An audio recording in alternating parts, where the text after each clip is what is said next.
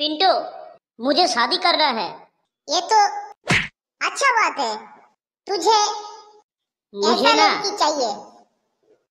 अठारह साल की लड़की चाहिए। अबे अठारह साल का लड़की नहीं मिला तो? मुझे अठारह साल का ही लड़की चाहिए। अगर नहीं मिला तो क्या करूँ? नौ साल की दो लड़की होने से भी चलेगा।